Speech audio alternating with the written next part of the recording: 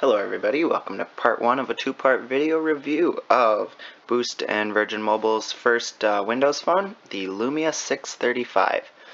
So here it is in blue, I don't know if they actually have other colors or not, I just ordered it, I don't remember seeing an option for different colors, and I got blue. So this is it, it looks really good, um, it's got a very simple design to it, and it, you know, it's plasticky, but it, it feels good. Um, one thing that I do want to complain about or comment on is the button placement. You can see the volume button is above the um, lock button here and when you're holding it it just feels unnatural to reach all the way down here to unlock. Um, sure when you're in a call it's easy to hit the volume but you know that's nice over here on most phones.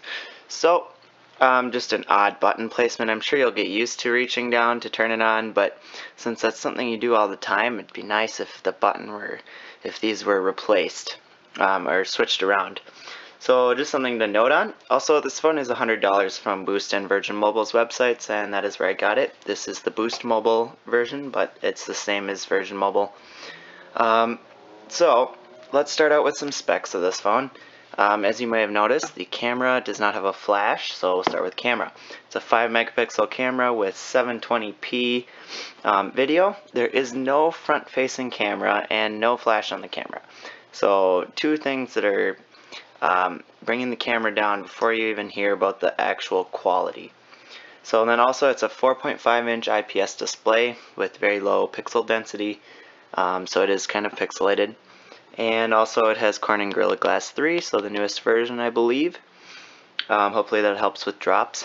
um, Windows Phone 8.1 with a quad-core 1.2 gigahertz processor with a half a gigabyte of RAM. Um, and 8 gigabytes of built-in memory is what it claims, but I have around 3 that are free right now. Um, around 3 uh, came with the phone free. So um, there are a lot of games and things pre-installed on this which you can uninstall, but I'm guessing that's what takes up most of the space. Um, also it can take a microSD card as well. So this has an 1830 milliamp hour battery, which lasted actually pretty well because that's not, not a huge amount. Um, standby time was great, so again, not too much to complain about battery life. Alright, so let's start with texting. Um, and I know there's really not much to see for texting, so we're just going to make this quick. Um, so the app is very simple and fluid and easy to use to get kind of a menu to delete. You can just select right here on the edge. Um, conversations are super easy. Hello. And um, everything is very quick and, I mean, this is a nice messaging, just simple, um, easy to use. I like it. So messaging was good. Also the keyboard has a swipe feature. Um, okay, down here. And also it, it was very responsive and can see very fast. So that's all you need in a texting app. So great for texting, A+. plus. Now we'll move on to web. So the web browser is Internet Explorer, which on the computer it sucks. But on the phone it's actually not bad. It's very fluid and easy to use, so let's go to google.com. Alright, I don't care that there's a faster way because I just want to go see Google. Alright, so here's Google. Um, and let's type in KDWB, which is my big web page I load that has lots of just crap on the page. So here we go, quick loading, and we are on LTE right now from Sprint, as you can see. Um, oh, also, you can swipe down in Windows Phone and see, like, control some things just kind of, uh, just like Android and iPhone now. So here's the mobile page. Let's switch to the desktop site.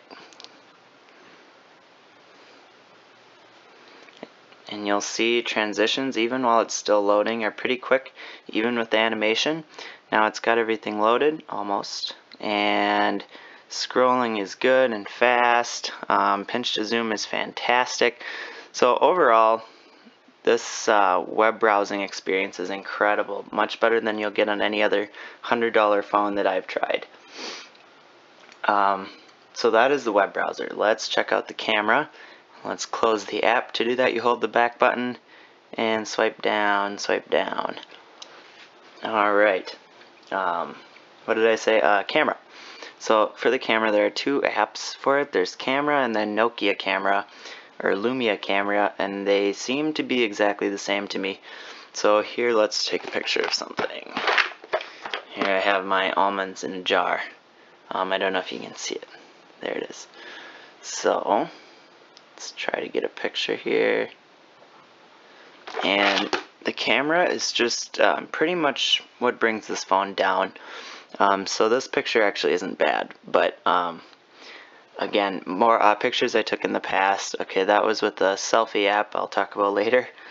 Um, here is part of my living room, and it just, it's not clear, it's not super focused. Here's outside.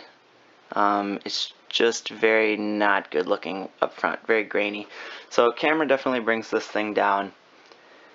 And let's see.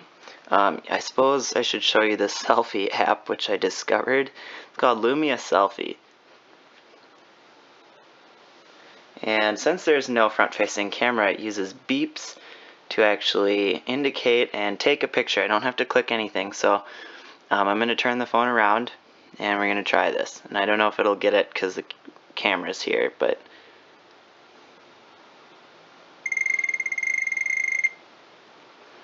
Alright, so I literally didn't smile or anything, but I just, uh, it basically centers your face uh, and then takes the picture, and that's what the beeps mean. They, how fast it beeps uh, is like where your face is, and it seems really complicated. I don't know why they didn't just include a um, front-facing camera. Okay, so that's the camera. Let's take a quick peek at games. Um, are lots of ways to get games on this phone. Um, and it's not super fast with loading them, but I haven't had any problems once I get it loaded. So I downloaded AE Fruit Slash, which is pretty sure just a mock of a different Android game. I forgot what it was called though. So here it is. And I will just play really quick. Alright.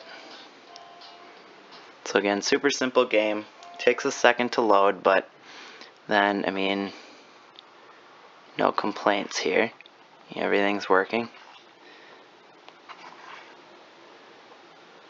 And I played this once before. Okay, so again, pretty quick. So we'll just get out of that. Oops, that went back to it. Okay, so that goes back to the last app. So if you hold it, then you can swipe down. There we go. Alright, so you, as you can see, everything just is very smooth. Um, very fluid, very quick to use, and getting out of apps like games, big big apps, you know, it, it's very quick. So um, something I really like about this phone, it's very fluid and just seems like a lot more expensive than it actually is. So that was the first game. Then there's also Game Hub that comes with it, which let's open that up quick. And this comes with some games such as Danger Dash, which is also a mock of, um, uh, I'm completely forgetting the name right now, but it's the one that I always play on all my demos here. Later, and you'll see in a sec. So we'll just play this quick. Oh, Temple Run, that's it. Oop. So again, no problems there. We're going to exit that, hold that, get rid of that. And so that was the second option for games. There are a lot, there are a couple included, like that one's included. I didn't download it, and there are a couple more that are included. Um, then also there's, if you go down to G, there's games, which is um, like Microsoft's games, which you have to download. I don't think it comes with any. Um, like here, for example, we can do Plants vs. Zombies and it actually gives you the option to try or buy. So that's like a Microsoft game, I believe. Yeah, the Xbox game. So, thanks for watching part one. Um, that's it for this video. Um, in the next video, I will cover some more things like just general Windows Phone stuff and my general opinion of this phone. Um, I'll conclude with that. And then also I'll go over some of the included apps, such as, well, it comes with an, with an FM radio, um, the health and fitness app. I'll just briefly touch on everything that this comes with because I know not everyone uses Windows Phone and not everyone's super familiar with it. So I'll go over a couple of the basics along with speed tests and the usual. So thanks for watching part one. Please subscribe to my channel. It helps a lot and follow me on Twitter at funzier1. Uh, also Google Plus if you can find me on there and um, Facebook, facebook.com slash funzier1. That's really where I do most of my communication. Um, so feel free to ask me questions on there or whatever you need to do. So there's that, and then also I'll post new videos on there. Alright, have a great rest of your day.